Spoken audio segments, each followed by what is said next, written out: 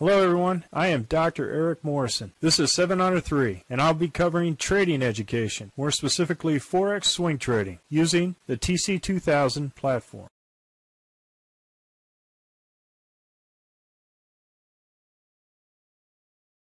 Hello, this is the Forex Weekend Review for 30 April to close out the month at 4 p.m. Central Time. I'm going to start off with the Aussie dollar, Canadian dollar. And as you can see here, was a pretty interesting start of the week. Sunday, uh, no no trade here. As you can see here, was uh, I can actually below the RL 10. Uh, first indicator candle second for a nice 1, 2, 3 punch out. Good trade. Aussie dollar, Swiss, Swiss franc for Sunday. Uh, no trade here. Initial trade here. One indicator away and was stopped out for a loss on this trade. Came back and we had a 1-2 out for a nice comeback for Aussie dollar Swiss franc. Aussie dollar Japanese yen had initial trade here for a nice 1-2-3 punch out. However, this was above, Heikin Ashi Body was above the RL10 and as you can see here, that's another entry. And if you continued with it, you only stop out here. So this would be a 1, 2, 3, 4 out here because the Heikin Ashi Body is below the RL10 game. Uh, kind of a nice initial target was up here and hit it, the Z3, on this day. But if you were out by the rules, which is you're out at the next Heikin Body below the RL10, you would have been out here. But if you stayed in, you would have hit the Z3 target on the Heikin Ashi over here. Overall, good, great trade for Japanese pairs. Aussie dollar and New Zealand dollar. Sunday, uh, no trade here. Initial trade entry here, out uh, for loss here. One, two, and then using the RL 270 as resistance and met your target at the 200 moving day average. A quick out here. So from here to here, nice, nice trade. Aussie dollar, US dollar was kind of a mess. Um, we went ahead and had an initial trade here, another trade here. Um, now, since it did close like a shooting star, I would have at least bought my first order to break even, um, just as saying, or you could have had it here and you would have been out for a loss for both orders. Um, Heikin Ashi Body is below the RL10 so here, it's a negative candle, so no further trade the rest of the week.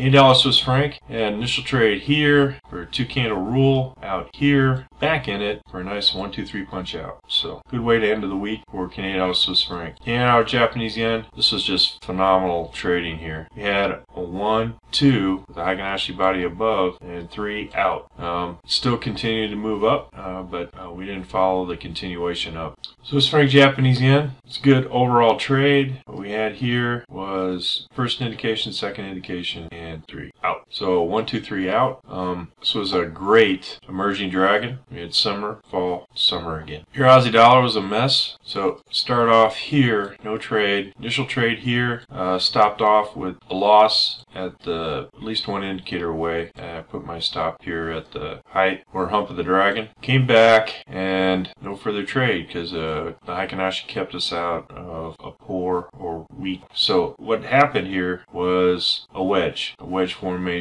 and it's very destructive, you know, as far as chop and consolidation. And this is just the big banks doing their stop hunting. Euro Canadian dollar, uh, excellent momentum. Uh, first trade, second trade uh, for a loss here. Then beautiful one, two, three punch out. Now if you had the 98 day average as of the RL 90 as your target, you would have hit it. So beautiful one, two, three punch out after that. Euro British pound kind of stalled. This is Friday. This is Sunday. No trade. No trade. No trade. Uh, if you did do a short, you would have been out for a small loss here. Below the Heikin Ashi, bodies below the Heikin Ashi, you could have gone for a low risk short. Uh, that would have been stopped out. Green Heikin Ashi going in the other direction, no trade. But and then one trade here for a loss here. So out of all of them, this would have been pretty much a scratch if the spread even allowed you to do. And then this is your one loss for, for the week on Euro British Pound. Euro Japanese Yen, just like I said, all the Japanese pairs were just phenomenal this week. Beautiful. One, two, three, punch out. Um, even if you used the RL90 as a as a target,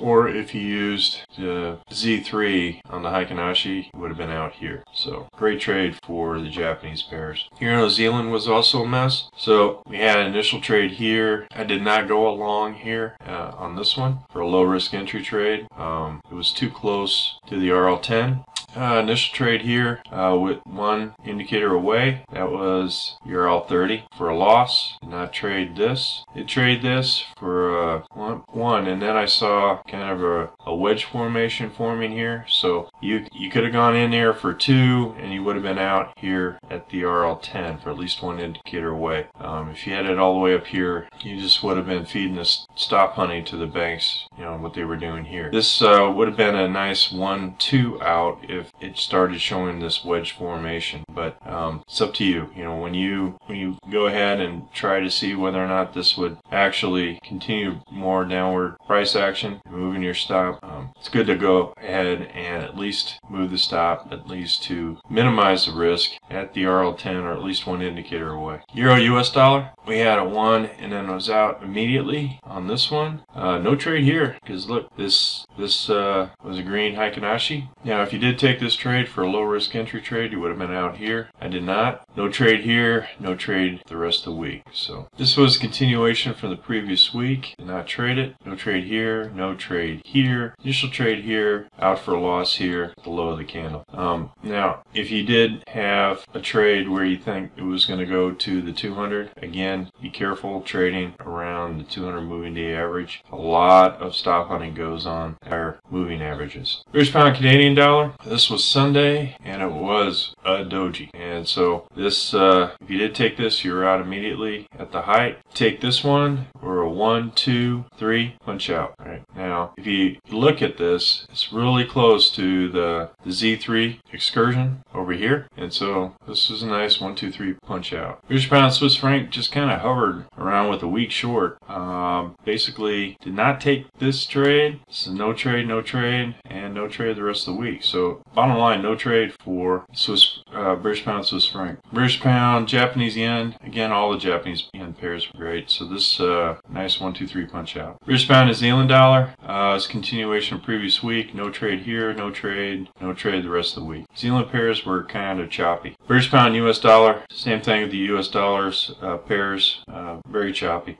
Uh, no trade here. Initial trade on the short side for a two candle rule. I was out at the hump of the dragon. Came back for a one and then a two with a short stop. Came back, stopped me out. Zealand Canadian dollar. Uh, no trade here. Uh, nice one, two, three punch out. So uh, it's good stuff. That if you continue to follow it and get it all the way down at least to the RL90, you could have done that with a nice stop. But this was a conservative move. Good, good, good trade. Zealand Swiss franc. No trade here. Initial trade here. Uh, out for a loss on this one. Um, no trade here. Heikin Ashi body below the RL10. However, with this, this was an initial trade here for a one-two out on the ZN dollar Swiss franc on Friday. So we caught this entire short to the downside. And since it didn't have a, a, major moving average up there and the RL10 was being used as resistance, this was a fantastic trade. Zealand Japanese yen, again, uh, have initial one, two, three punch out. No further trade the rest of the week. Zealand US dollar, again, the US dollar pairs are all choppy. There's a one, two, and then out for loss here. Another trade here. Doji, and whenever you got a doji up here, you got this tweezer potential formation. If it never gets above this high, it's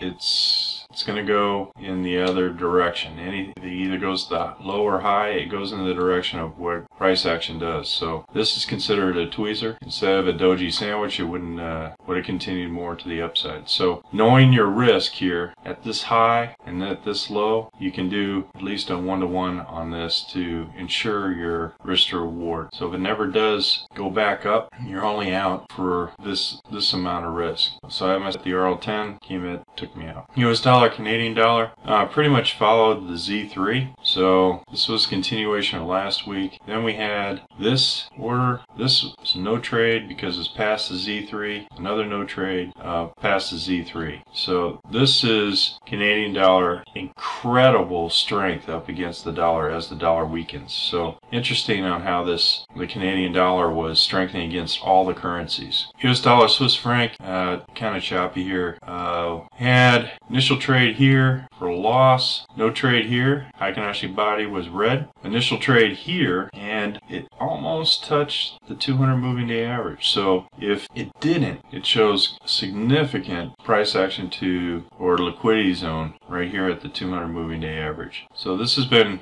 US dollar Swiss franc has been going down for a while, so it may have found support here. So this would have been a 1-2, and then what you saw as an initial loss here, the stop at the RL10, or one indicator away from the 200. US dollar, Japanese yen, uh, we had no trade here, initial trade here, and for a 1-2-3, then a 1-2. Alright, so what we had here is the Heikin Ashi body above the RL10, and what you could have done is a 1-2-3 and a 4 here, uh, out here. So this would have been 1-2, out for about break even on the second, nice gain on the first. Or you could have done a 1-2 out for more than break even here, and then a 1-2 out on Friday. Just looking at gold and silver, very choppy reverse wedge, and gold, same thing, kind of reverse wedge. Don't know the direction what it's going, but the Heikin Ashi has a very slow decline here, which means there could be more price action for gold and silver to the upside. Well, folks, that's all I have for the week in review for the Forex currencies. We're currently conducting a Forex boot camp and a Forex intermediate course. If you're interested, click on the link below. And remember, ruthless risk management. Have a great weekend, everyone. Happy trading. Well, if you like this video,